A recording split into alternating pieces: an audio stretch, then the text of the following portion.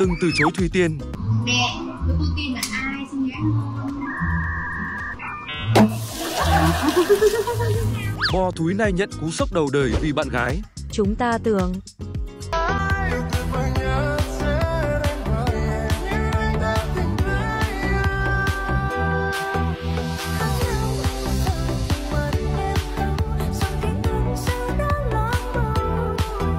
Sự thật là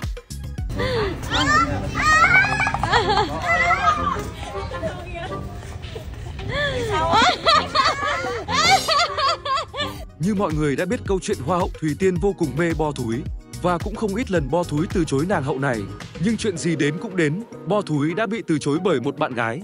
Trên trang cá nhân Hòa Minzy đăng tải một đoạn clip đưa Bo Thúi đi học về. Ban đầu đi ra Bo Thúi nắm tay tung tăng với một bạn gái còn được mẹ hòa lồng cho nhạc nền vô cùng tình cảm. Nhưng bỗng nhiên bé gái lại bỏ tay Bo Thúi ra và chạy đến bên một người đàn ông khác điều này làm Bo Thúi hết sức ngỡ ngàng, chỉ biết đứng nhìn bạn gái rời đi. Tưởng đâu sẽ có cái kết hạnh phúc nhưng không ngờ lại là trái đắng. Giờ đây Bo Thúi đã nhận được cú sốc đầu đời. Được biết người mà cô bé chạy đến bên chính là bố của bé đến đón cô bé sau giờ học. Hậu trường của đoạn clip Hòa Minzy đăng tải thì Bo Thúi chị đứng chân mà khóc chứ không thể làm gì được.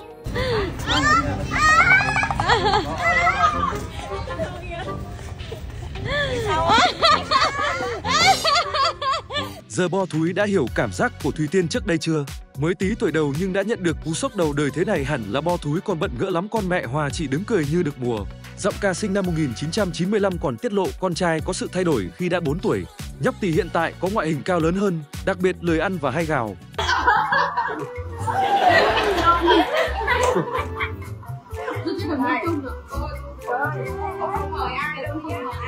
Kể từ khi công khai hình ảnh của con trai, Hòa Minzy nhận được nhiều hơn sự chú ý của khán giả.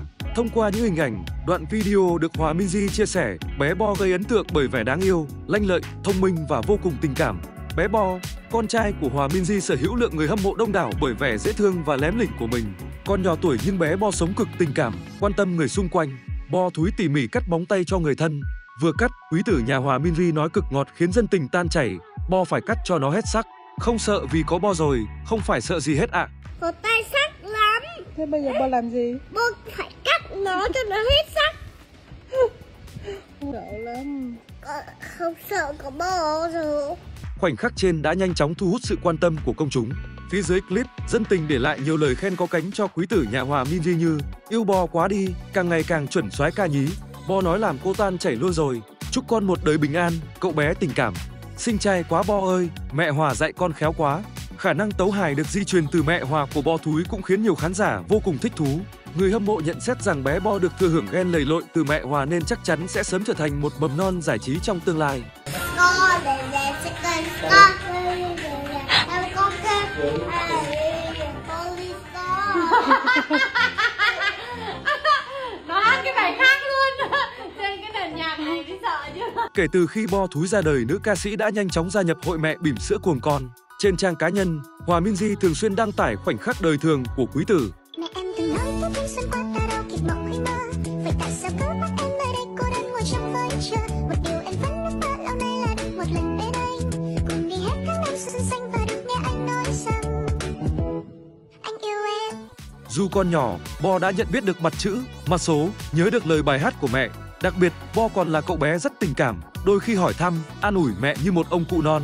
Có thể thấy Hòa Minzy đã chứng minh mình không chỉ là nữ ca sĩ tài năng mà còn là một mẹ bỉm đầy tâm lý và kinh nghiệm trong việc chăm sóc nuôi dạy con cái. bấm nút theo dõi kênh nhé